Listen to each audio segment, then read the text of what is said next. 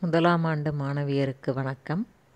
இன்று நாம் நாஞ்சில் நாட்டு மருமக்கள் வழி மான்மியம் எனும் நூலில் உள்ள ஒரு பகுதியினை பார்க்கப் போகின்றோம்.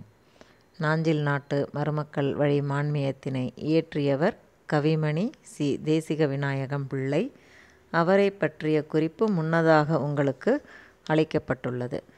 இந்த நாஞ்சில் நாட்டு மருமக்கள் வழி காப்பியம் நகைப்பு இகழ்ச்சி சோகம் அனைத்தும் கலந்து வரும் ஒரு சிறந்த சித்திரமாகும். நாஞ்சில் நாட்டு மருமக்கள் வழி வேளாளர் குலத்தில் பிறந்த ஒரு பெண். தான் பட்ட சிரமங்களை எல்லாம் எடுத்து சொல்லி வருந்துகிறாள். அவள் ஒரு ஏழை குடும்பத்தைச் சேர்ந்தவள். தன்னுடைய பதினாறாவது வயதில் ஒருவருக்கு ஐந்தாவது மனைவியாக அவள் வாழ்க்கைப்படுகின்றாள். தனக்கு முன் வாழ்க்கைப்பட்ட அந்த பெண்களை பற்றியும் தான் அவளிடம் பட்ட துன்பங்களை பற்றியும் அவள் எடுத்து கூறுகிறாள்.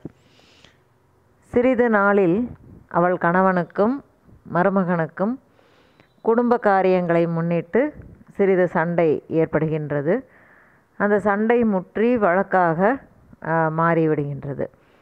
அந்த வழக்கு முடியும் முன்னரே கணவன் வியாதியில் விழுந்து விடுகின்றான்.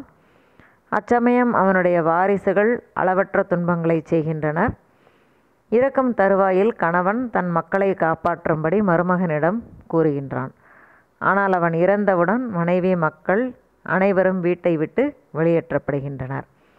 அப்பொழுது தங்களுக்குள் வழங்கும் இந்த மருமக்கள் வழி வாரிசு முறையினை அப்பெண் பழித்துரைக்கிறாள். இது கதை சுருக்கம்.